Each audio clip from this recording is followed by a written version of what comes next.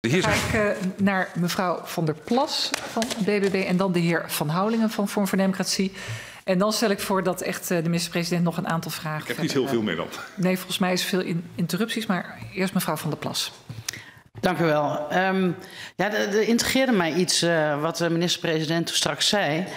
Um, en dat is van, ja, nou ja, ze doen eigenlijk niet zoveel als Kamerlid. Of uh, ze doen verder niet meer zoveel, want ze doen alleen uh, misschien een keer een fractievergadering bijwonen.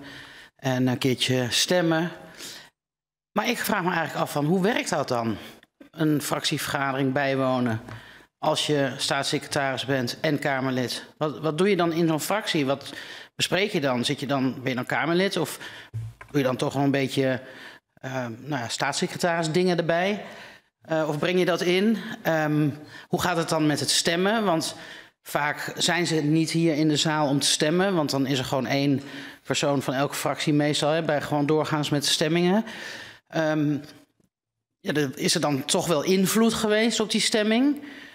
hebben ze dan wel gezegd van, nou ja, weet je, dit gaan we bij het ministerie doen. Of dit zijn we wel van plan, dus het is wel goed als je voorstemt of tegenstemt.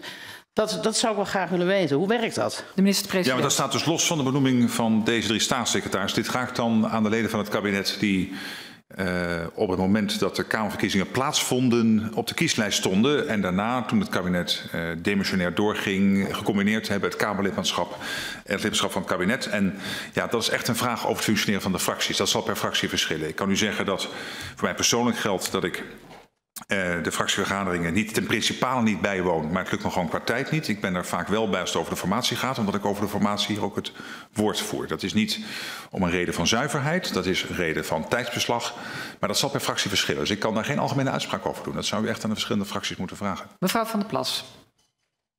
Ja, dan uh, vraag ik het aan het enige fractielid van de VVD die zeg maar, dan dus die dubbele pet op heeft. Want hoe gaat het dan met stemmingen? Hoe gaat dat dan met stemmingen? Als ik nodig ben voor de bij stemmingen. De minister-president. Als ik nodig ben voor de stemmingen, dan ben ik bij de stemmingen en dan volg ik de stemlijst die de fractie heeft vastgesteld. Mevrouw Van der Plas.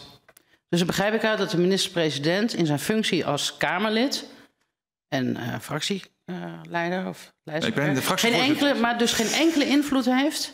Geen enkele invloed als Kamerlid op wat de VVD-fractie beslist. Ja, zou kunnen dat vind ik ook raar. Ja, dat kan. Minister-president. Ik zou in de fractie, als ik tijd had, daar helemaal bij kunnen zijn, me overal mee bemoeien. Maar dat lukt mij gewoon niet. Uh, overigens, fractievoorzitter is Sophie Hermans bij ons. Ik ben alleen, uh, ik ben alleen woordvoerder namens de VVD als het betreft uh, de formatie. Als laatst gekozen lijsttrekker. Wij kennen mijn partij geen partijleider of zoiets. Maar goed, als laatst gekozen lijsttrekker ben ik belast uh, als eerste ook in mijn partij met uh, het formatieproces. Dus dat, dat zijn ook delen van de fractie. Ik probeer bij te wonen, lukt ook niet altijd.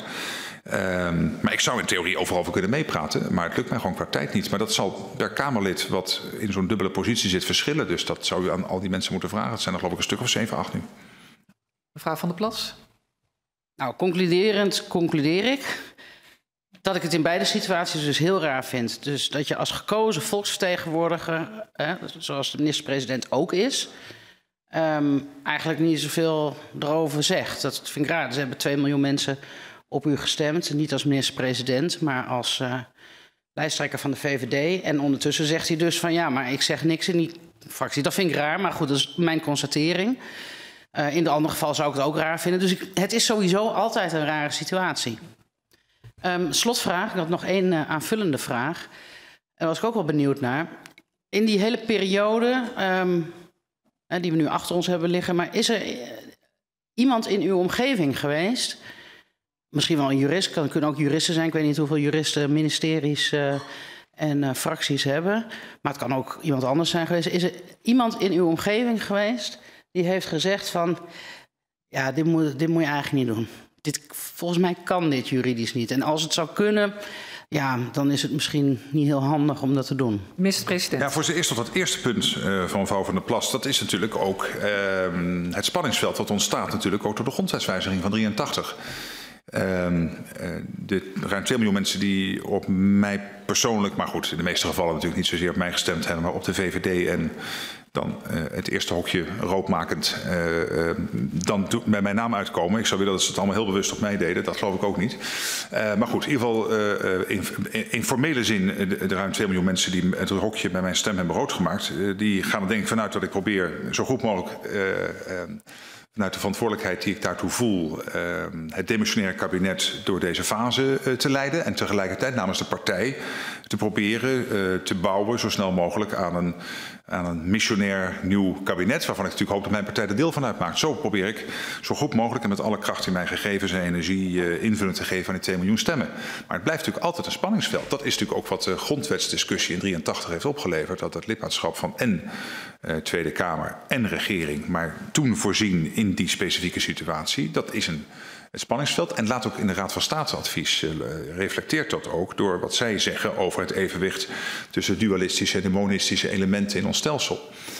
Um, nou ben ik de vraag De tweede vergeten. vraag of er iemand in uw omgeving was die... Oh ja, we hebben, we hebben natuurlijk uh, daar ook, ook naar aanleiding van de Kamervraag nu discussies over gehad. Bij ons bestaat echter overtuiging, zowel bij BZK Algemene Zaken, hè, waar de, meeste mensen zitten die er verstand van hebben, dat dit uh, een verstandige lijn was. Uh, en tegelijkertijd heb ik u ook verteld hoe mijn denken inmiddels ook verschoven is. En dat ik het wenselijk vind om het zo te doen zoals we vanavond afgesproken hebben. De heer Van Houwelingen, of bent u... U kijkt mij vragend aan, dus volgens mij heeft u nog één korte vraag. En dan de heer Van Houwelingen en dan de heer Sneller tot slot. Ja. Geen uh, um, concrete vraag meer. Ik merk wel aan het antwoord van de minister-president over het, hè, de dubbele pet van en gekozen volksvertegenwoordiger en minister-president. Minister um, ik proef er wel uit dat hij dat zelf ook wel ongemakkelijk vindt. Maar dat is mijn conclusie. Um, nee, ik vind het niet ongemakkelijk, maar ik zie wel het spanningsveld. Maar ik snap het, ik snap, ik snap het spanningsveld. Er is een spanningsveld. Uh, dat noem ik uh, ongemakkelijk. Ja. ja, maar het is nee, nee, ik, maar het is toch niet. Nee, ik zou het niet ongemakkelijk willen noemen. Ik zou dat woord niet overnemen. Waarom is dat? Omdat ik ook denk dat het verstandig is wat de grondwetgever heeft gedaan in 1983. Namelijk voor de periode van de demissionaire tijd mogelijk maken om Kamerleden die in het kabinet zitten, op de lijst staan en gekozen worden in de Kamer, om die het mogelijk te maken voor de duur van de formatie dat dubbelmandaat uit te oefenen. Ik denk dat dat echt verstandig is. Maar natuurlijk is er altijd een spanningsveld, uh, omdat je natuurlijk altijd moet afvragen waar bemoei ik me wel mee, waar bemoei ik me niet mee. Daar moet iedereen ook individueel natuurlijk invulling aan geven. En bij mij gaat dat vrij makkelijk, omdat simpelweg mij de tijd niet is gegeven om de fractie helemaal te gaan bijwonen. Dank u wel. Dan, uh,